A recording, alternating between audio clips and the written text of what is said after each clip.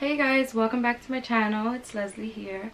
Um, I tried to do a reaction to Queen's side of the story and I found myself not not interested in what she had to say but I feel like everything is redundant at this point and like I lost my mojo to even talk about it anymore because I feel like I addressed it enough and I feel like at this point it would just be me defending my emotions. Here I am feeling that exact way like I have to do and maybe I should uh, address this a long time ago probably right after I did that reaction video because I know I knew people were gonna misconstrue my emotions and misinterpret my me crying the truth is guys I did respond to that book and it wasn't for Clarence nor was it about him it was about me because the book was talking about me and it was tarnishing my name. Yes, I loved Clarence and that's known. Like I've never hit that. But that chapter in my life is closed. Like it's been three years now and I've grown to be the woman that I am today because of that. Like, yes, I am over that situation. It's not all about Clarence. It's not all about do I want him or I want him back or anything like that. It, the truth is I had to relive that moment just for 30, 30 minutes. And yeah, I got emotional and, and I was crying, but my tears aren't for Clarence. They aren't about you. They're about my true feelings of my story. Like, they, I wasn't sugarcoating it or anything like that. That's just how I expressed it. And it's in human nature for me to respond the way I want to respond because I am who I am. And I won't change for nobody. And the truth is, I don't owe anybody an explanation. I don't owe anybody my story and I don't have to share that with nobody. I didn't even think that I didn't think that it would go this far. But it like took me on this course. Like I didn't know that it will get like this. I swear, I didn't even think that I was finna be on YouTube crying and everybody sees me weak and emotional. I didn't think any of that. And I didn't think twice about it to post or anything that because it is the truth. It is what I felt at that moment. A lot of people are judging me and saying leave them alone. They have a whole family now and whatever the case may be. But I left them alone three years ago. My fault for taking him off the hook and you know putting my focus on elsewhere but it is true at the end of the day if someone is for you they will be for you and no one can take that away no one can no one can take that person away from you and i'd be damned if i go ahead and blame a person's actions on others because ultimately it's the person you're with who you're supposed to respect and represent you know as your woman if the love is generally true. And I know that I got very emotional in my last video and I probably said things that I shouldn't have said and I should have just kept them to myself. And for that I sincerely apologize. Some things just doesn't have to be set out to the public. Please try to understand that I put myself in that moment again. I I relived that moment again and I didn't appreciate how Clarence was talking about me. As if I didn't invest five years in him. As if we didn't have good times together and made it made it made it out to seem that our relationship was total toxic when that wasn't the case and that was that's what the anger came from the anger came from that the anger came from uh, my business being out there to the world like that's still weighing on me like i didn't appreciate that at all and like i said i didn't know that all of this, a book was going to do this. Like, I didn't think a book was going to do this to me. I didn't think that I would respond the way that I responded. I was just acting off my true feelings and my true emotions. And I said what I said. Some things I shouldn't have said. But that's how I felt at that time. And if you guys don't understand it and if you still don't get it, it is what it is. I don't have to prove to you guys that I don't want him and I'm over him. I don't have to do none of that neither. You guys could think whatever you want. Like, him and I know our story and I'm pretty sure he knows that I've moved on and I've never tried to get my relationship back with him. Like I've never tried to do any of that. Um I will say this. I knew that our relationship was pretty much done when all the videos were coming out. Like I'm not stupid. I'm not gonna hold on to oh my god they, they're making videos.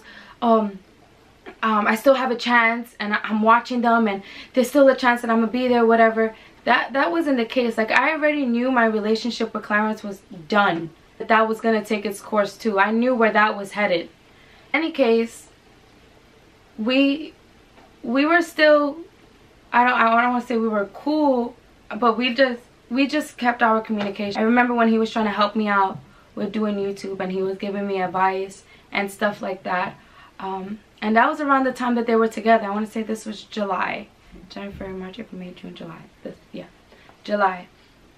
It was in July that he was trying to help me out with my YouTube. Right after, that's when I found out the news that she was having a baby. So it's only like it's a human nature for me to respond the way I responded because that is how I felt at that moment. Right now i don't feel that way guys. I, i'm not pissed off that they're together and they have a family and they're happy now. That is not me. I'm actually happy for him i'm over that. That chapter is closed in my life and i've moved on you guys. I've took this relationship as learning experiences for me. That's another reason why i i probably got very emotional because not only did i have to relive that moment but I hold that experience with my ex um, very serious because and within those five years of my relationship, I learned so many things. I've learned so many lessons. Like life has definitely taught me so many things. And for that, I've, I will forever cherish it. When someone shows me the slightest sign of what I went through with Clarence, or anything that he did to me, I cut that person off real quick. I'm able to move on and not look back. Like I always think to myself, if I got over him, there's no way that I can't get over you. And that's the truth, guys. That's how I move now. So for people to say, um, you still on him, you still want him, you're not over him, yada yada yada, just because I got emotional, you guys are misinterpreting my feelings and my emotions in that video but i'm not gonna explain myself anymore and i hope that I hope that this is the end of it all because I don't want to talk about that story no more. People want to believe what they want to believe and they want to judge me and whatever the case may be, to each his own. You guys didn't live my story. You guys don't know what it feels like and that's the bottom line. Thank you for your messages, for encouraging me, and for your prayers because I've read those messages. I've even screenshotted some of them and saved them to my phone so I can look at them whenever I'm feeling down, you know? Because everybody get those moments. Like today is one gloomy ass day and it's the time of the month so I am in my bag. Not in, a, in my bag like I'm in my feelings and I'm hurt and yada like it's not that. Like I'm just, you know, reading the comments and the messages. I'm just like, yo, people are they just don't get it and they're never gonna get it but it's just it's just absurd to me how people misinterpret things and maybe it's because how I came off and stuff but whatever it is what it is. I don't want to talk about my past. The shit is done. I it's been three years later and yes it's made me who I am today and it sucks that I have to relive that moment again and it sucks that I have to talk about it again.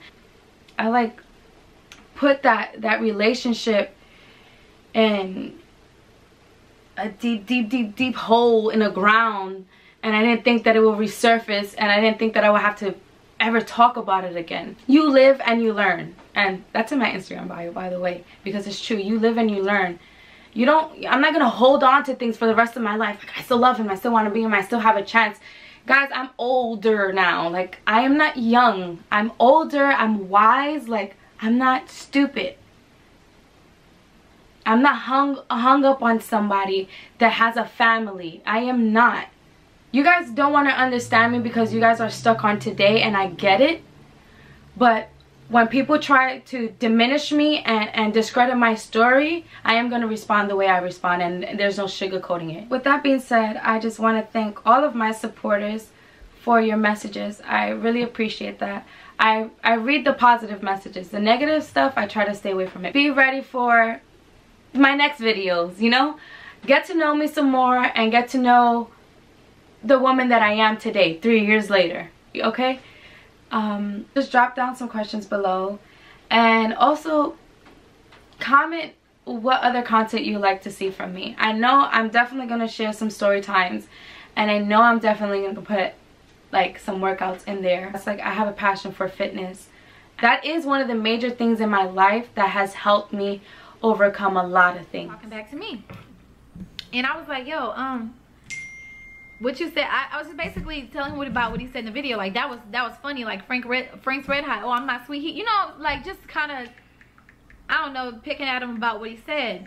Obviously at this point if he's doing a smash pass on a bunch of girls i did um i, I just refused to do another video on it but my point exactly.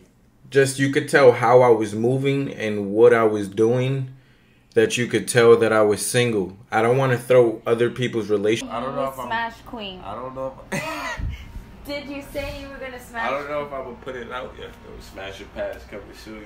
Thank you guys for watching. Don't forget to hit the like and subscribe button and turn on your notifications. See you guys.